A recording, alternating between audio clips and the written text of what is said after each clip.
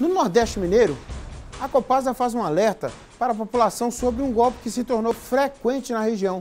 Pessoas que se passam por funcionários do órgão têm entrado nas residências para realizar coleta de água para análise e aplicar golpes. Aí não dá, hein, Fantoni? Nicomedes, a criatividade da mente criminosa ela não tem limites. E agora, olha só, a Copasa emitiu uma nota à imprensa e à população informando que pessoas que não são funcionários da empresa, que não têm autorização da empresa, têm visitado a casa de clientes para fazer coleta de amostras, uh, coleta de amostras de água para análise. A empresa informa que os serviços prestados pela companhia são executados nas residências dos clientes mediante ordens de serviço.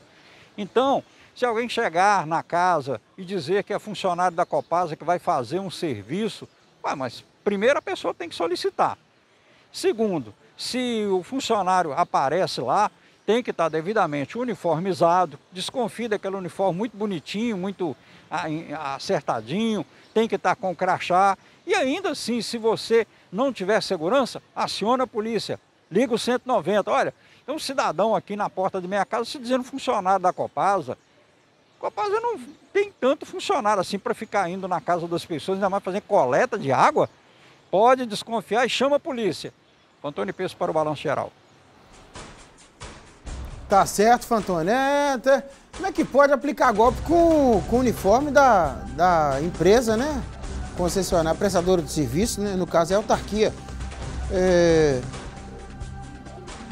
Fantoni, sabe o que a gente tem que fazer? Tem que pegar o, nome da pessoa, o CPF, assina para mim aqui.